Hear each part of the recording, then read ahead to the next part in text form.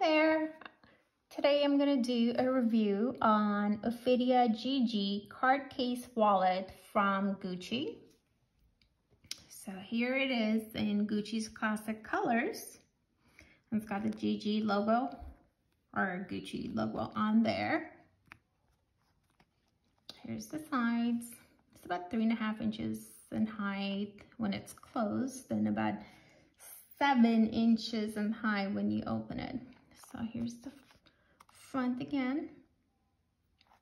Let's open it. There you go.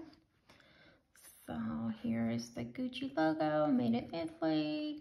And it's got five spots to put your cards, your credit cards. One, two, three, four, and five. And then it has a interior zipper pocket for your coins, right there. And then it has another interior open pocket. And let's see, over here to put your dollar notes in.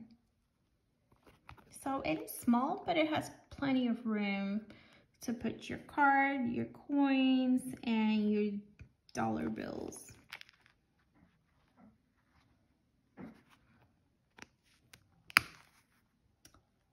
So you guys, my videos are always short and to the point. So please show your support and subscribe. There you go.